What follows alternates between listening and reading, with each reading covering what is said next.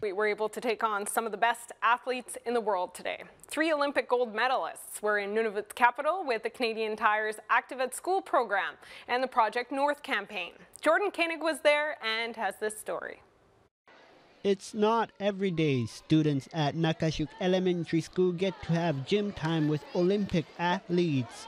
They got to spend time with hockey player Hayley Wickenheiser, speed skater Charles Hamelin, and bobsledder Kaillie Humphries. For many students, the event was a golden opportunity. I had to say big.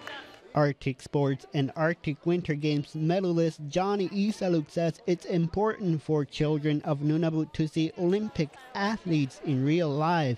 He took part in the event. Working closely with the medalists and actually playing with the kids, that's what I really appreciate. To encourage young Nunavut kids stay active, the Olympians also helped donate 100 bags of hockey equipment. Thanks to Canadian Tire and Project North, there was also a $100,000 donation. Because Nunavut was very excited about getting active in the schools and letting the kids participate more.